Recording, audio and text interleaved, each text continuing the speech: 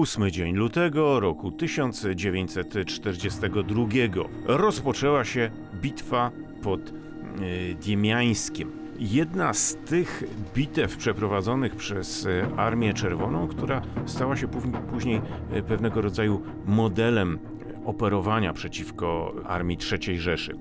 Przypomnijmy, rok 1941 to jest rok potwornych klęsk ponoszonych przez e, armię e, sowiecką w wielkich okrążeniach, w wielkich kotłach wpadają w ręce niemieckie całe dywizje, całe armie, jak chociażby w operacji białostocko-mińskiej, gdzie w ręce Wehrmachtu wpada tyle czołgów, y, ile połowa y, niemieckiej Panzerwaffe liczyła łącznie, tyle czołgów y, radzieckich.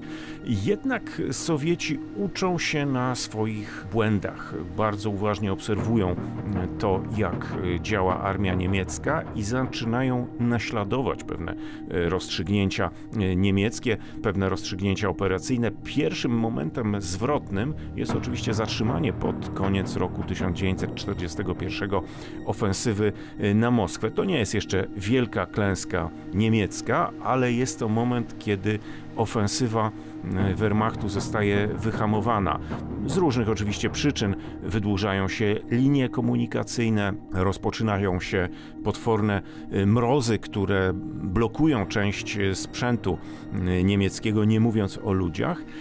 I armia czerwona, zasilana wciąż e, mobilizowanymi żołnierzami, zasilana także sprzętem, który zaczyna początkowo w niewielkim stopniu, później coraz mocniej płynąć od aliantów zachodnich, przechodzi do e, kontruderzeń i zaczyna próbować powtarzać pewne rozwiązania e, niemieckie, to znaczy uderzenia na skrzydłach, na stykach dużych jednostek niemieckich i zamykanie mm, sił niemieckich, dużych sił niemieckich e, w kotłach. I taka operacja zostaje przeprowadzona właśnie na początku lutego roku 1942 pod Diemiańskiem, to jest na południe od e, Stalingradu.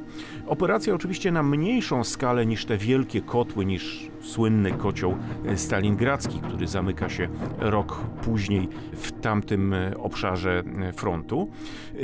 Niemniej jest to już mała próbka tego, co Sowieci mogą przeprowadzić. Udaje się w pewnym momencie zamknąć Sowietom po bardzo gwałtownym uderzeniu na dwóch skrzydłach udaje się zamknąć elementy drugiego korpusu armijnego, y, niemieckiego korpusu armijnego, w którym y, znajdują się elementy 12, 32, 30, 123 i 290 Dywizji Piechoty oraz Dywizji SS Totenkopf. Są tam także jednostki, jak we wszystkich armiach niemieckich, jednostki sojusznicze, czyli e, włoskie.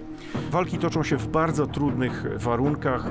Mróz, problemy z aprowizacją. Przez pewien czas e, wojska niemieckie są zablokowane, walczą w otoczeniu, tak jak później pod e, Stalingradem. Jest uruchamiany most lotniczy ze zrzutami. To okazuje się mało efektywne i ostatecznie Dopiero 21 kwietnia roku 1942 Niemcom udaje się wyrwać z tego okrążenia. Także ostatecznie zniszczenie jednostek niemieckich pod Diemiańskiem Sowietom się nie udało, ale dla dowództwa niemieckiego cała bitwa, sposób e, działania mm, Armii Czerwonej powinno być już sygnałem ostrzegawczym, że Sowieci uczą się na swoich błędach, że zaczynają wyciągać wnioski i zaczynają wprowadzać mm, pewną myśl taktyczną, a nawet myśl strategiczną, którą później będą rozwijać do końca wojny. Ona stanie się swego rodzaju ich etykietką, ich znakiem rozpoznawczym, tak? Zamykanie dużych jednostek w kotłach.